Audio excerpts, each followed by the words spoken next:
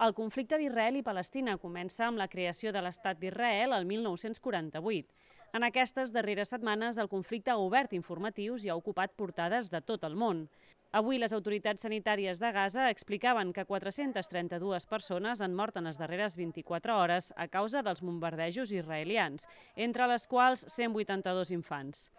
Parlen de la nit més mortífera des de que va esclatar la guerra Hamas-Israel.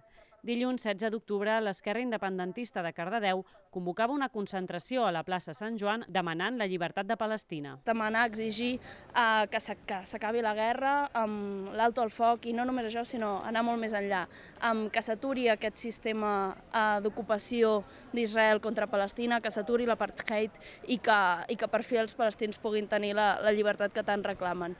Eh, volem enviar tota la nostra solidaritat amb el poble palestí i també um, exigir a les nostres institucions i sobretot a la Unió Europea, aquesta institució que plana sobre nostra, que en cap moment hem escollit i que, i que, el, que el que està fent és donar suport a aquesta posició d'Israel um, de pràcticament genocidar a fer aquesta neteja ètnica contra el poble palestí. Aquest dijous, al ple ordinari del mes d'octubre, la CUP de Cardedeu presentarà una moció de suport a Palestina i en contra de l'ocupació israeliana.